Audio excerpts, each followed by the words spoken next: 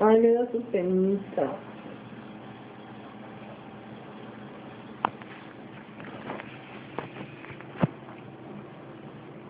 ¿Qué pasa, Nutush?